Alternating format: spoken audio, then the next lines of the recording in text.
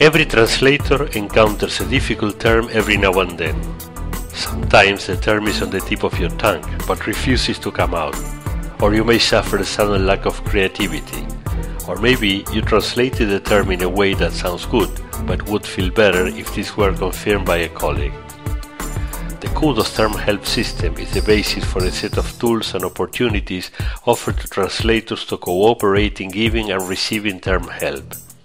The system is based on KudoZ question and the glossary derived from these questions. Over 2.5 million KudoZ questions have been asked so far. The basic KudoZ workflow for receiving term help has three steps asking a KudoZ question, collaboration provided by site users, and selecting the most helpful answer and storing the results. Step 1. A term help question is posted.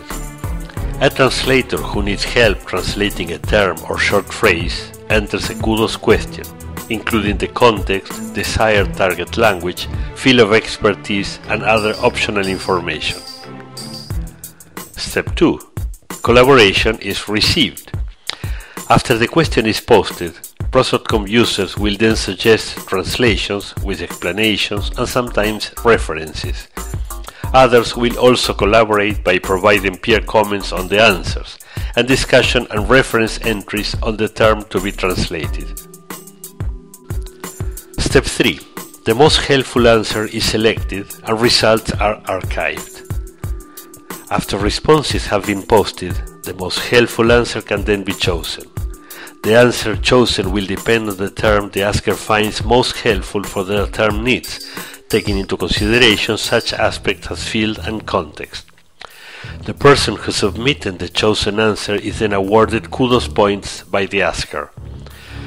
KudoZ points are a main criterion for sorting translators and interpreters in the directory. The question and suggested translation are saved, and from then on they are available to anyone else in the KudoZ Open Glossary.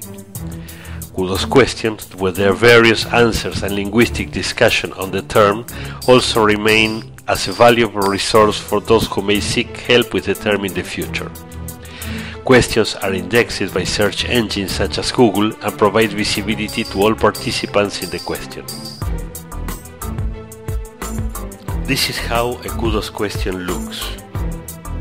This is the question as posted by the asker, including the asked terms and the corresponding context, the language pair and field of expertise. There is also information on the asker, and by passing the cursor over the username, you can see information on the asker's KudoZ activity. Moving down the page, we see a summary of answers provided, including the suggested terms, confidence level, net peer agrees, and identification of answerers. Further down, the discussion entries area allows requests and additional exchanges of context information and linguistic discussion on the question.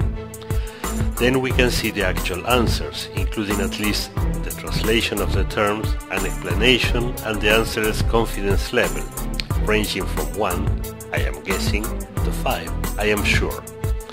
Below there is an area for reference comments used to provide information which is not in itself an answer, but which may be helpful to either the asker or other answerers.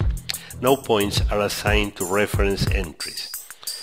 Users can also provide peer comments on answers and reference comments. This is done by selecting the desired peer grading, agree, neutral or disagree, and entering an associated comment. This comment must be linguistic in nature and it is mandatory for neutral and disagree entries. At the bottom of the page, you will find information on the moderator or moderators working in that particular language pair. Moderators can be contacted to report site rules violations or get help. This is the same question as seen by the asker. There is a lot of information here in the answers and peer comments in the reference and discussion entries. When term help has been received and enough time has elapsed, at least 24 hours after the question was asked, the asker should select the answer considered most helpful. KudoZ points cannot be spread among answers. Look for the question that was most helpful, taking into consideration such things as reference information and explanations. If you find two answers equally useful, pick the one that arrived first. To select an answer, click on the Select this answer as most helpful link at the bottom of the answer you wish to choose. Now select the number of points to be assigned, leave an optional comment to the asker and enter the term in the glossary. Please note that the terms should be edited into glossary form before their submission. This is how the question looks after grading. On top we see the new glossary entry that will be found in the KudoZ Open Glossary and the selected answer shown below the question.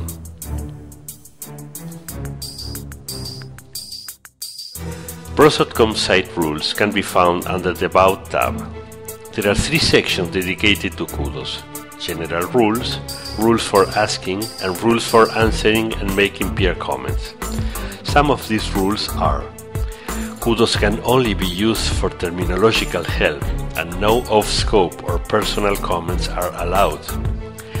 The different areas in a KudoZ question must be used only for their intended purposes. Glossary form must be maintained and confidentiality should be preserved commentary on askers or answerers and their postings or decisions to post is not allowed. And last but not least, let's talk about KudoZ points. KudoZ Pro points in a given language pair and field of expertise are used for sorting translators in directory searches performed by outsourcers. Some clients also use KudoZ points to flag translators for further qualification. The logic is that if you require the services of a translator with an understanding of medicine, a person who has earned 300 points providing term help on medical questions may be a good place to start looking.